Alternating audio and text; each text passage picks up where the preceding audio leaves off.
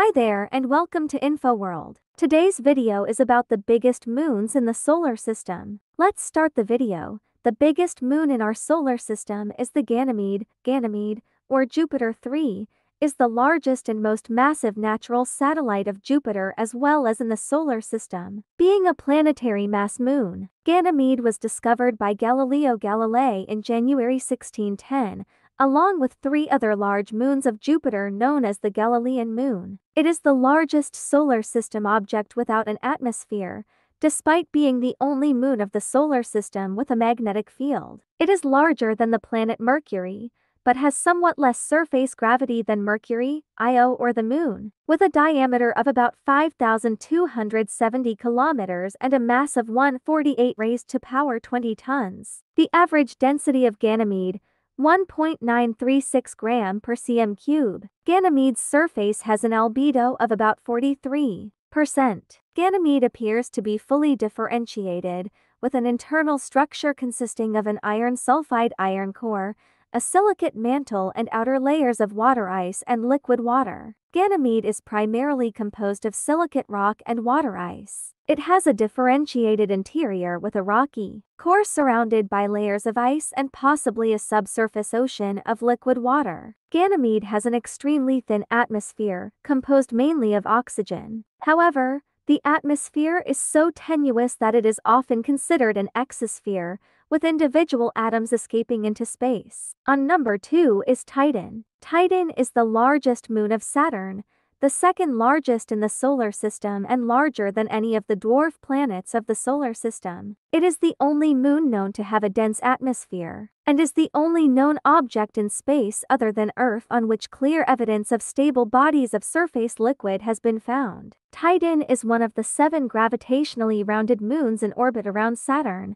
and the second most distant from Saturn of those seven. Frequently described as a planet-like moon, Titan is 50% larger than Earth's moon and 80% more massive. Discovered in 1655 by the Dutch astronomer Christian Huygens. Its diameter is about 5,150 kilometers and 1,221,870 kilometers away from Saturn. The atmosphere of Titan is largely nitrogen. Minor components lead to the formation of methane and ethane clouds and heavy organonitrogen haze. The atmosphere creates a hazy orange-brown appearance and gives Titan a greenhouse effect. Titan experiences a methane cycle similar to Earth's water cycle.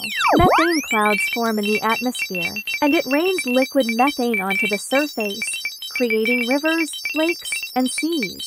This methane cycle carves the landscape and contributes to the ongoing geological activity on Titan.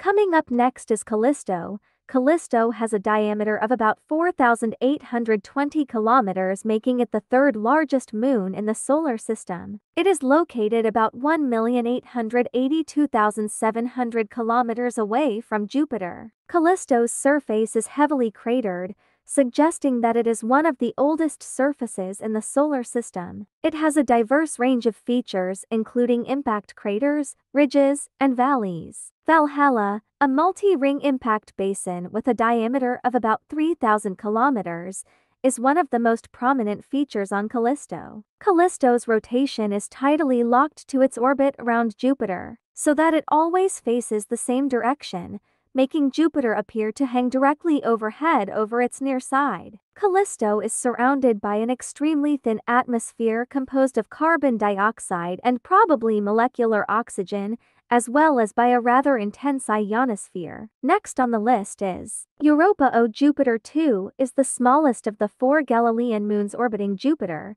and the sixth closest to the planet of all the 95 known moons of Jupiter. Its diameter is 1,939.7 miles. Europa was discovered independently by Simon Marius and Galileo Galilei. The Hubble Space Telescope detected water vapor plumes similar to those observed on Saturn's moon Enceladus, which are thought to be caused by erupting cryogeysers. The scientific consensus is that a layer of liquid water exists beneath Europa's surface, and that heat from tidal flexing allows the subsurface ocean to remain liquid. Europa's surface temperature averages about 110 Kelvin at the equator and only 50 Kelvin at the poles. On number 5 is Triton. It is the largest natural satellite of the planet Neptune and was the first Neptunian moon to be discovered on October 11, 1846, by English astronomer William Lassell. It is the only large moon in the solar system with a retrograde orbit, an orbit in the direction opposite to its planet's rotation. Because of its retrograde orbit and composition similar to Pluto, Triton is thought to have been a dwarf planet captured from the Kuiper Belt. It has 2,710 kilometers diameter, the only satellite of Neptune massive enough to be in. It comprises more than 99.5% of all the mass known to orbit Neptune, including the planet's rings and 13 other known moons. Its crust consists of nitrogen ice, dry ice and water ice. Trace ices include 0.1% methane and 0.05% carbon monoxide. There could also be ammonia ice on the surface. That's all for today see you in another video.